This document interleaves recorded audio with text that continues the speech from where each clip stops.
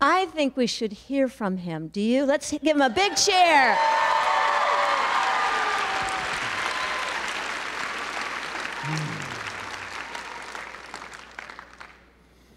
All right, well, let's just start. This is crazy, right? This is crazy, right? This doesn't happen. This is insane. This is crazy.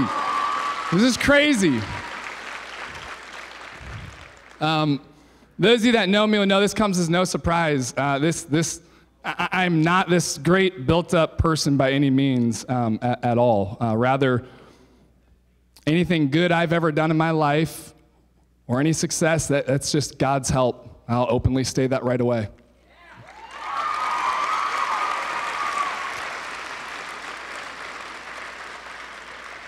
I, uh, I really don't even have a speech, right? And it's ironic because I teach some of you guys how to break down speeches and how to be able to write in really fancy ways. But um, I, I think, I guess just for me, what it comes back to is just each day it's this concept of if I, if I can just try to help one single student, then it's worth it. And so to be here standing in front of you is it's unreal. I mean, never in my mind did this, I thought this is what it was going to be about. But you all are why we're here. I mean, truly, yeah, I know my name's here. We talked about my name, but guys, it's you. It's you. And you see me in the hall and you see me in class. It's you.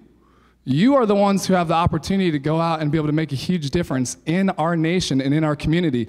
And that's why day in and day out, we try to take time and build you up and speak truth into your lives. That door of opportunity, I'm looking at my junior class, talked about yesterday, it's right there in front of you every single day. Okay? So truly, I'm just, I'm, I'm amazed to be here. This is incredible. I, I want to thank you guys so much for your support. Thank you for giving me high fives in the hallway. Thank you for taking time and, and, actually, and actually applying yourself and doing your best. I couldn't be uh, more excited about this moment or to join a team like all of you to be able to continue to try to make an impact uh, just at more and more platforms and levels. So thank you, everyone. This is amazing. This is crazy.